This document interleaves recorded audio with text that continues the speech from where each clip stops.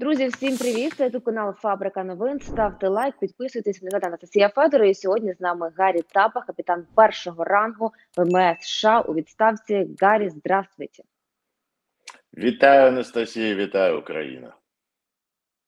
Я бачу, що ви дуже схоже вдягнені в щось на вишиванку, і я думаю, що ви в Україні.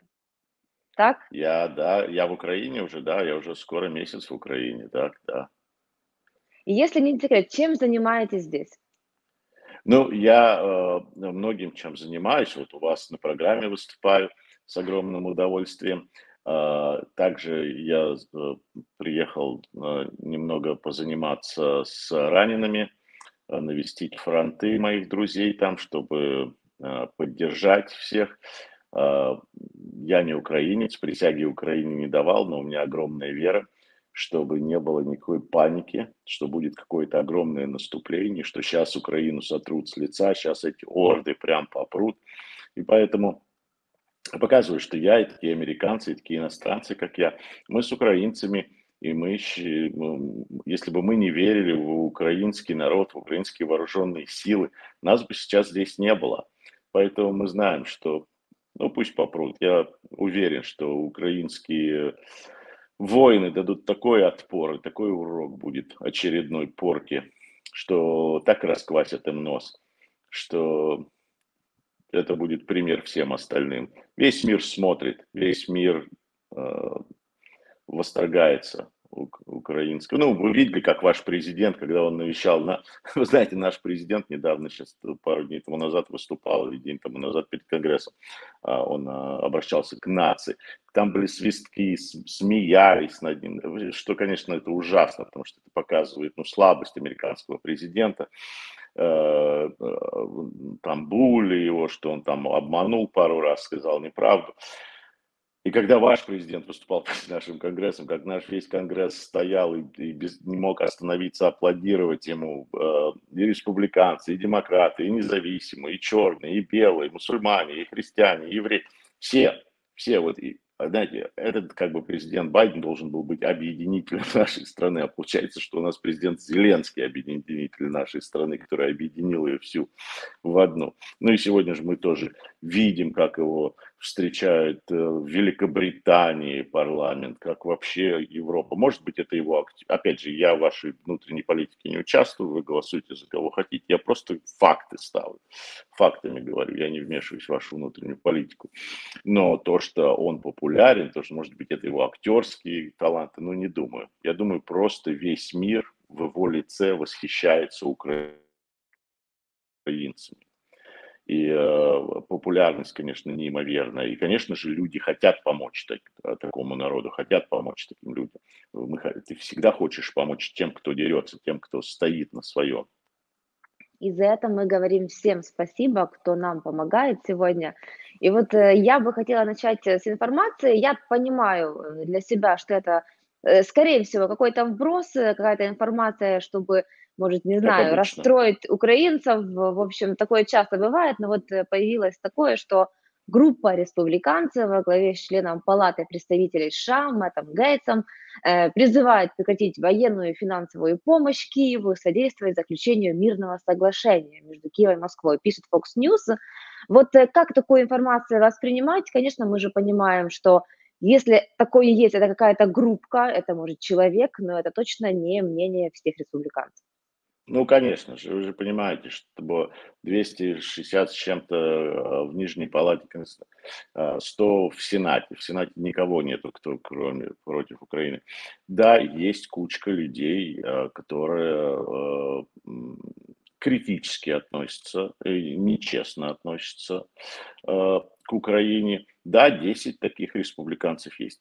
Но, опять же, это все надо воспринимать в контексте. Не так давно когда было большинство демократов у нас в Нижней Палате, то 30, не 10, а 30 демократов написали письмо президенту прекратить помощь Украине и посадить Украину за стол переговоров, прекратить военную помощь. 30, не 10, а 30 с стороны. Опять же, 30 тоже ничего. Эти количество людей никогда не протолкнут э, закон э, в Конгрессе таким образом. Это маргиналы, что с одной стороны, что с другой стороны. Ни у республиканской партии, ни у демократической партии, ни у украинцев, ни у израильтян нету, а, нету патента на Конгресс без идиотов. У всех у нас есть Киева, а, Илья Киева, у всех у нас есть Жириновский, у всех у нас есть эти люди, которые говорят, ну почему-то в Украине схватились вот за это, и вот эта соровская свора постоянно вас запугивает республиканцами, постоянно вас запугивает этим, этим, э, этим исчадием ада Трампом, которого шансов там, например, кто, бывший президент, или еще его сыном, кто его сын, вообще не. Но вот это вот постоянно вкиды такие, чтобы у, украинцы чего-то боялись. И это, я считаю, что нехорошо. Сейчас был, опять же, что Маск отключил э, сегодня вышло. Я звоню да. моим друзьям военным, они говорят, ничего подобного, все, все работает. Но зачем это делать, я не знаю. Это, конечно же, это подрывная работа, это вот то, что у вас здесь это называется УПСА или ИПСА, как-то так. Э, э, люди, которые это критикуют, они же в этом и участвуют. Э, ходят люди, которые Понимаете, и поэтому ну, никто никогда не говорит что-то позитивного. Каким-то образом создалось такое впечатление, что республиканцы это плохо, а демократы это хорошо. Хотя у нас в Конгрессе нету никакой проблемы. Опять же, Конгресс у нас и республиканцы, и демократы, и независимые, объединены Украиной. Большинство, не то чтобы, а супер большинство за Украину. Поэтому эти вкиды, они не помогают. Это просто злит, потому что да, республиканцы говорят, а что они против нас-то? Почему они все время говорят, мы за них, да, а, а они против нас? Э, э, и также Трамп, все, что он сделал, там, сдать Крым, он за то, что это он протолкнул закон в 2019 году через Конгресс, пока он еще был, э, по-моему, тогда республиканский, что Крым никогда никакой президент не признает российским. Это он сделал. Но вот эти вот вкиды почему-то вас хотят перетянуть на одну сторону, на другую, вовлечь в нашу внутреннюю политику. Рано или поздно, я говорил, что придут республиканцы в Конгрессе, может, может быть, они придут и в Сенате, может быть, следующий президент будет республиканец. Нельзя так, а он потом скажет, а вы на меня все время дерьмо выливали, что я вам должен помогать, вам помогали, помогать. Не участвуйте в этом, не в Киеве, не верьте во всему этому, надо все это проверять. Американский народ за Украину. Проблема не в Конгрессе, не в республиканских демократах, проблема в Белом доме. Это Белый дом тормозит помощь, это Белый дом дает минимальную, вот это, дает помощь, но минимальную. Не ту, нужно больше давать. Мы не говорим, что они не дают. Я понимаю, что вы благодарны за то, что делаете, но мы, американцы, мы, американцы, сказали свое слово. Мы проголосовали через Конгресс почти что стопроцентно нашим за ленд-лиз, то есть дать Украине в упрощенной форме все, что ей необходимо, как можно быстрее. Но Белый дом тормозит этот ленд-лиз, не дает.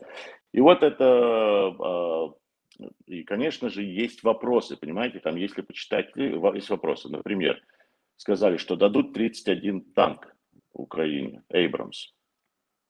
Потом выясняется, что это дается по другой программе USDI. То есть украинцы могут теперь купить, заказать себе эти 31 танк. Их будут делать, а, и а, а, они придут там, через год. Что-то это не то, что мы подразумевали, как бы.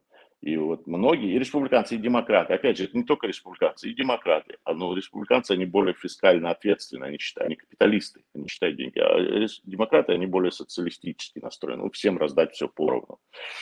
И вопрос задается, зачем мы? Это будет стоить 400 с чем-то, 425, почти что полмиллиарда долларов за эти 31 танк. Это деньги, которые мы выделили пакетом. То есть за американские деньги Украина будет покупать эти 31 танк, которые придут через год, там, наверное.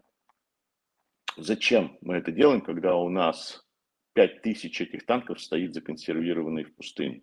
Почему мы 50 танков не можем там взять и просто их передать, и ничего это не будет стоить? Кроме обучения, транспорта и так далее, ну мелочь. Зачем мы заказываем через год, а когда они стоят готовы? Вот вопрос, который задают вот эти, кстати, эти вот республиканцы, они этот вопрос тоже задают. Почему мы тратим деньги наших налогоплательщиков строить то, что будет когда-то в будущем, если у нас это стоит без дела? И, в принципе, не так много. Если у нас 5000 Эбрамсов стоит законсервированных.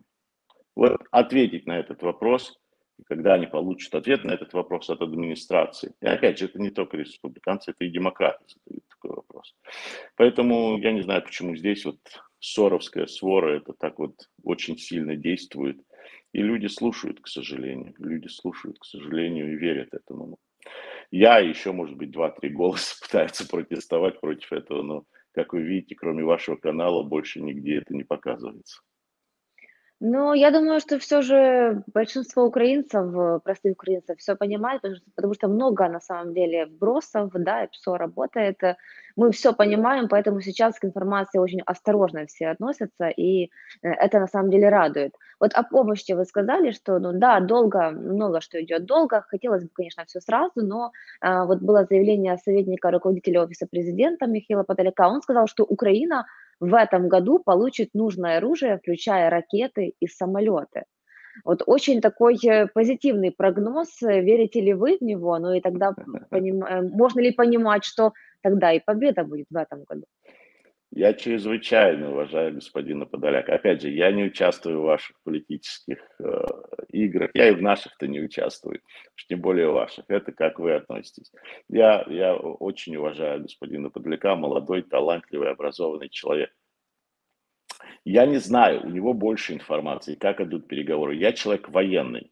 Вот я поеду на фронт, я вижу, что там ребята стоят с Максимом и с Дегтяревым в руках. Я расстраиваюсь. Вот когда я увижу наши Брэдлис, там, когда я увижу там наши э, э, немецкие леопарды, там, когда я вижу это все, тогда я, я скажу, все, все работает, все хорошо, молодцы. Ну, все, конечно, не будет работать, все, конечно, никогда идеальным не будет. Но пока что, я, пока что это все разговоры и обещания. Вот, вот идет, вот, вот. И вы уже год держитесь, вам дали 72 часа максимум, максимум 72 часа. Вы уже держитесь на чем?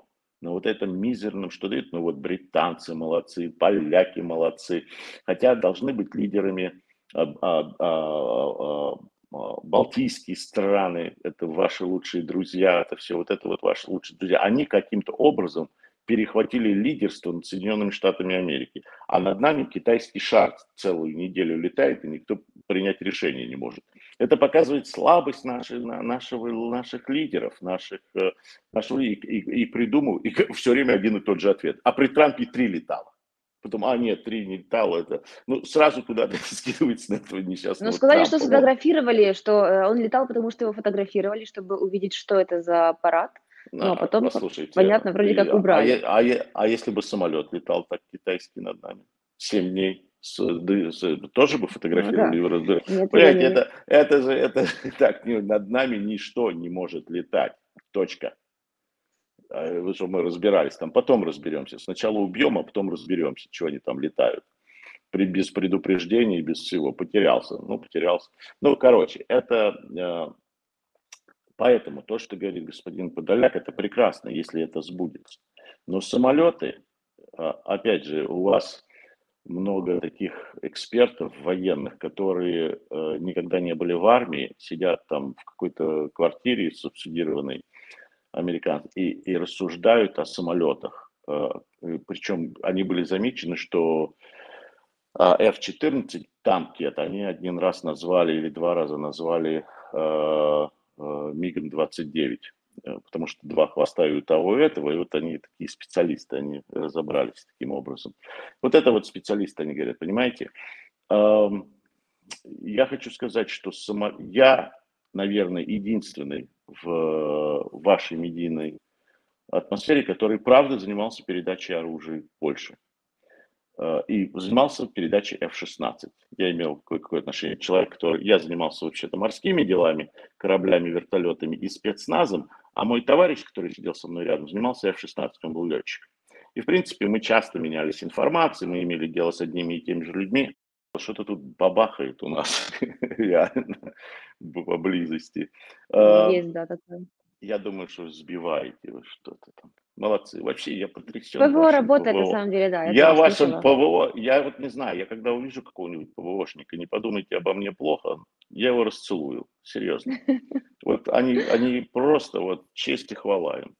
А, а, и что я хочу сказать? И а, а, передать самолеты, это то, то, что они сейчас бегают, танки, самолеты, ну танки понятно, но самолеты это совершенно другая уровень, уровень э, военных действий.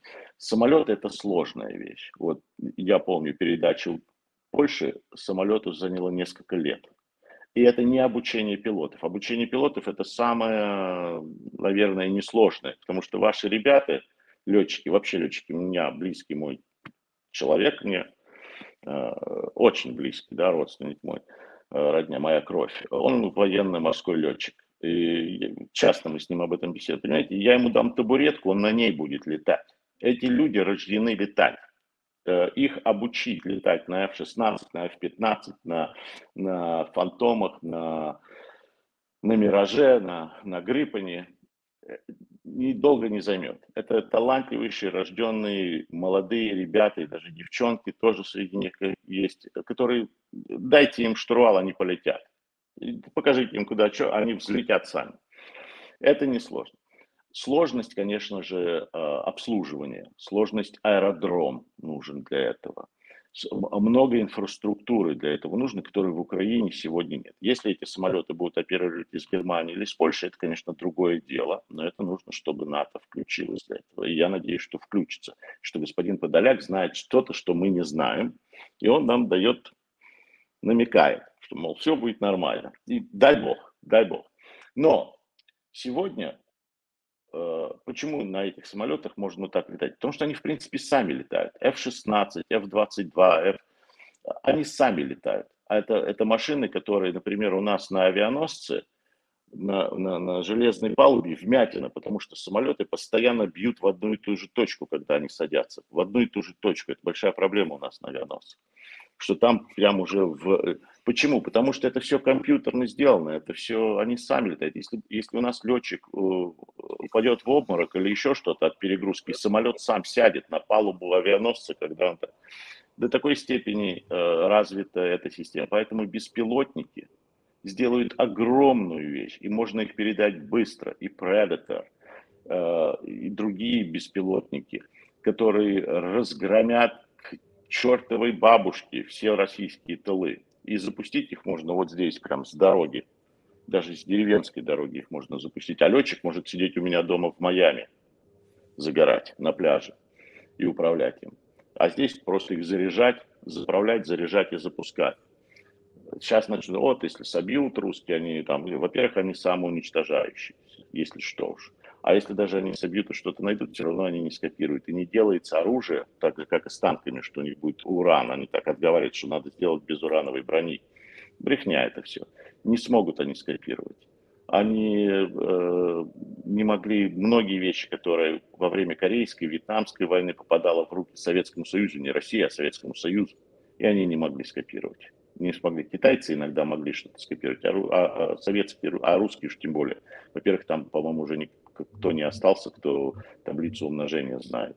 Э, поэтому э, умные люди оттуда уже давно-давно уехали. Вы сказали, что советник руководителя президента Подоляк, наверное, что-то знает, раз дал такой прогноз, что в 2023 году будут даже самолеты. А вот интересно, что знает Алексей Резников, министр обороны Украины, потому что он сказал, что, мол, всего год назад никто бы не поверил, что украинская армия будет вооружена стингерами. Но э, может ли кто-то сказать, что получит боевые корабли? Было бы невозможно.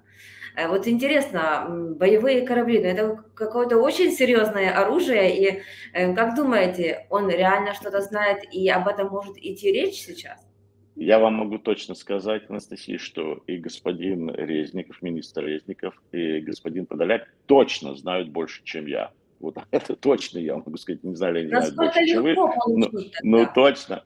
Не, все это нелегко, все это ну, легко и нелегко.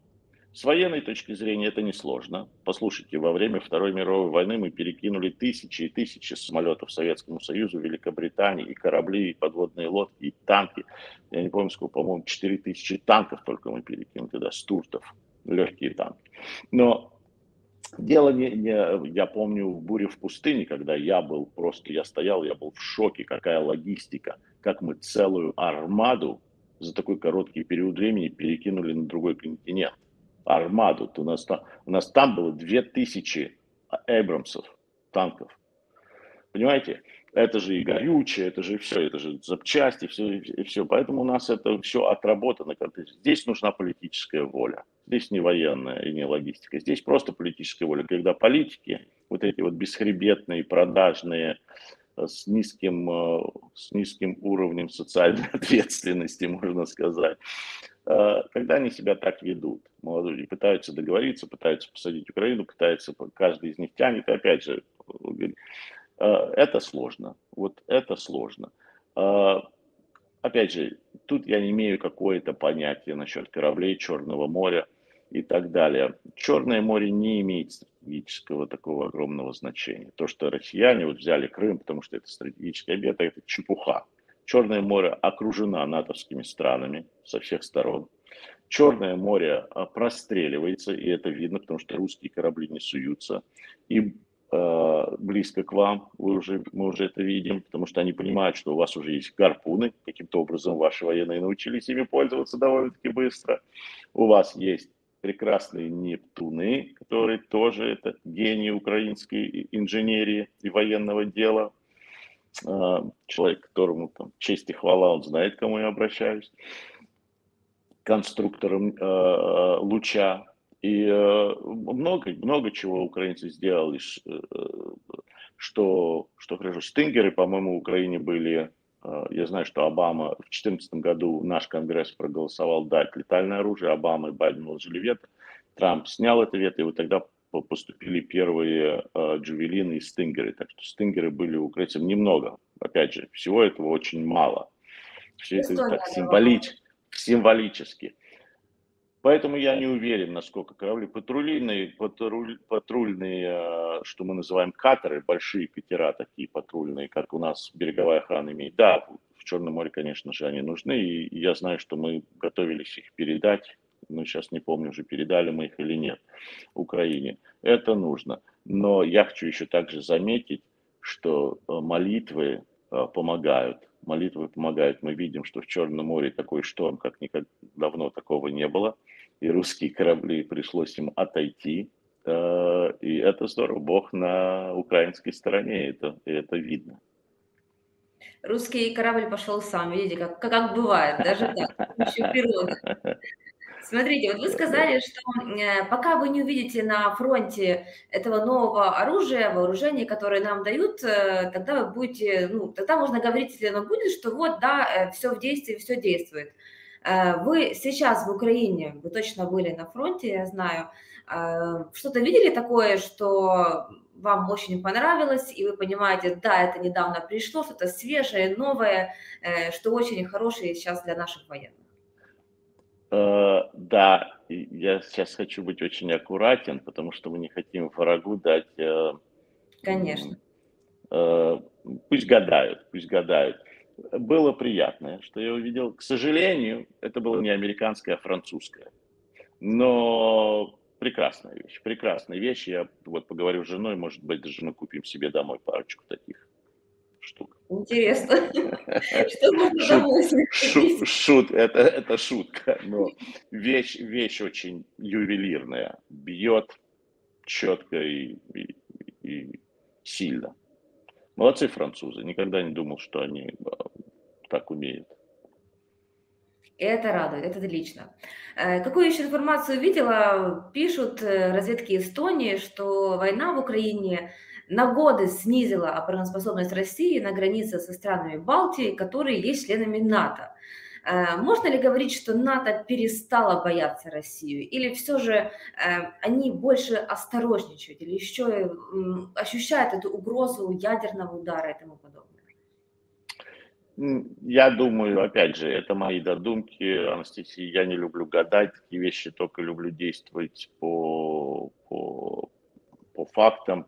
Я не думаю, что НАТО что-то там боится или не боится, это все политические игры, политические вещи.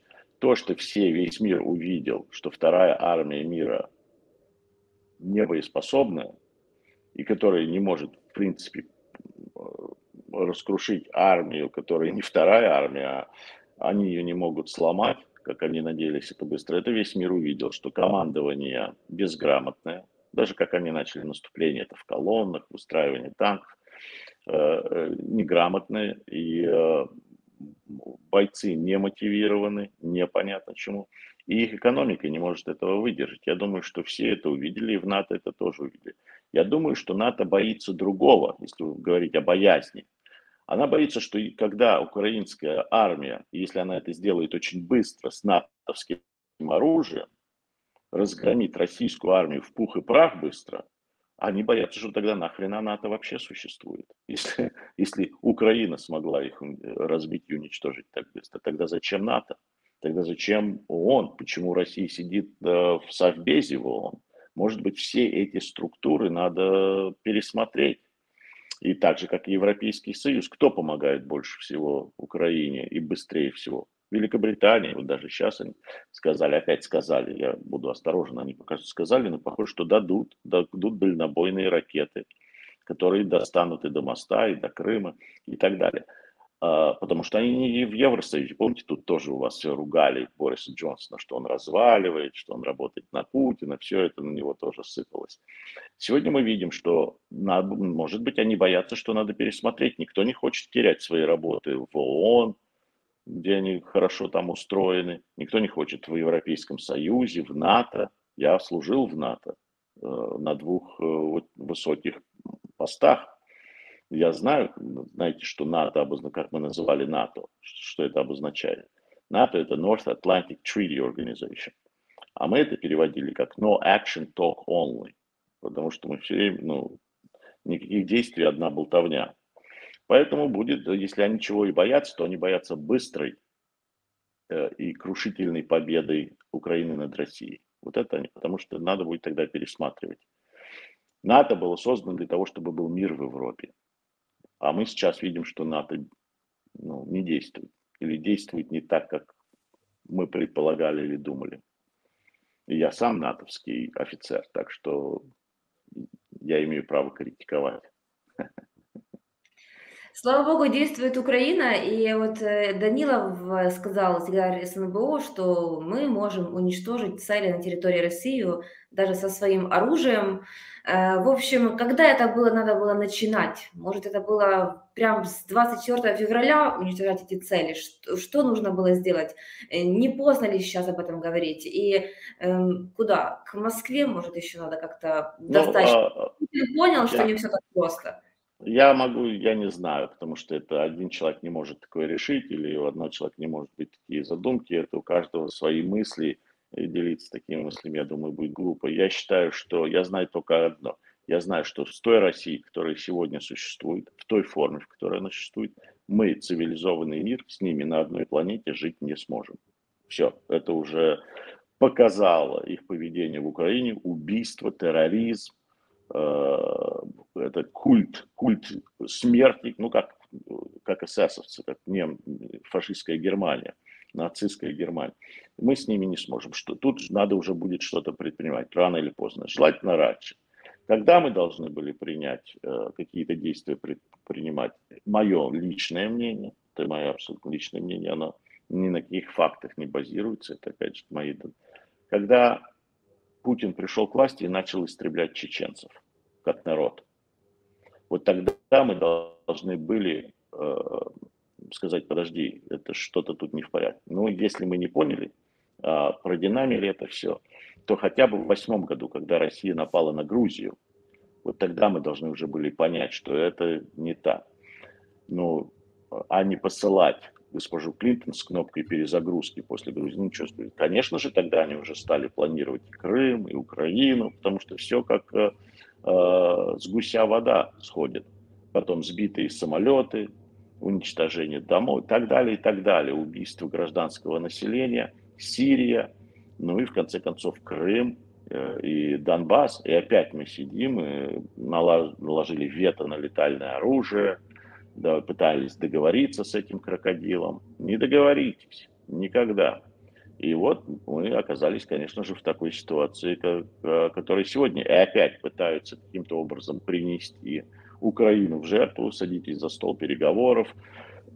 Начинается эта идея опять же, я не говорю там демократы, республиканцы, извините, или европейцы, что это корейский вариант поделить таким. Нет, это ничего не сработает. Это ничего не сработает. Этого дракона, этого крокодила надо убить и сделать из него там ремни, сапоги, там что из них делать, сумочки для вас.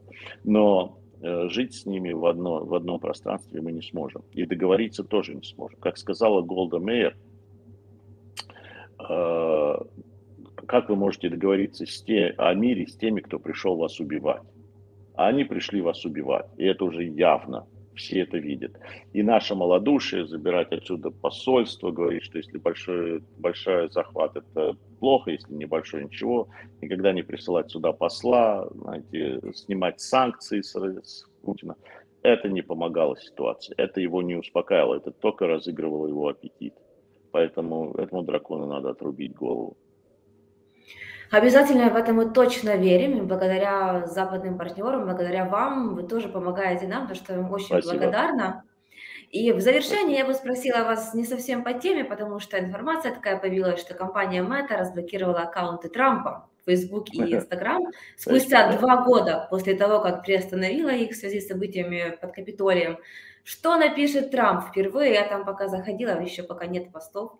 Э, как думаете, о чем будет первый пост после перерыва? Я уверен, я уверен, то, что, э, опять же, видите, как вот у нас либеральные силы, опять же, это не демократы и не, и не республиканцы, это то, что у нас называется левые силы и правые силы. Вот пришли немного правые силы в Конгресс, и сразу двинулось оружие. Это же не совпадение, хотя пугали вас, что ничего не будет. Сразу же начали э, действовать, свободу. А вот те левые силы, которые за равенство, что за свободу, за, за все честно всем, они как раз тебе хотят заткнуть рот, если ты э, говоришь не, то, что они считают нечестным. Вот такие они честные люди, получаются. Таким образом, они честные. И, и э, мы видим, что вот начинается свобода слова, все-таки наша первая поправка, он недоволен народ у нас, и мы это протестуем, и мы стоим возле Белого дома с этим, включая украинскую диаспору, русскоязычную диаспору. И мы видим, что они возвращаются. Я не знаю, что напишет Трамп э, в Фейсбуке и в Твиттере. Э, первый, но я знаю, что здесь это создаст такую сенсацию. Все будут, все мне начнут писать, присылать. Ты видишь, что Трамп сказал, что он написал, э, что каждый будет переводить это по-своему. Здесь, конечно же, эта соровская машина включится и будет это переводить на свой лад. Трамп имеет тенденцию писать вещи и говорить вещи, которыми надо потом гадать. Он бизнесмен он вас ловит на этом. Как вы думаете, что вы думаете про это? Если вы думаете так, то вы на его стороне. Если вы думаете, если вы это перевели так, значит вы против него. Он хитрый. Он хитрый человек, который э, и умный в этом отношении. Поэтому то, что он напишет, это будет сенсация. Но я хочу опять же сказать. Трамп бывший президент Соединенных Штатов Америки. Он не принимает никакого решения, сколько и как идет оружие в Украину, и как продвигается война. Да, он влиятелен, да, его еще многие в демократической партии боятся, и в республиканской тоже, он не республиканец, его многие не любят в республиканской партии, но он популярен, он популярен, и он создает вот эти землетрясения, ну, сейчас, наверное, это неправильно выразился, потому что что происходит с землетрясениями, мы, конечно, ужасно. Но эти землетрясения – это стихийные бедствия, а то, что происходит в Украине и гибнут столько людей, это не стихийное бедствие, это, при, это создано людьми, это создано убийцами. Это, извините, я отвлекся. Поэтому то, что Трамп сделает, это будет все равно сенсация. Но опять же, я призываю всех не обращать внимания. Не то, что Трамп сказал, посмотрите, что он делал. Вот что он сделал, а не что он сказал. Надо действовать. И что говорят политики, и что они делают.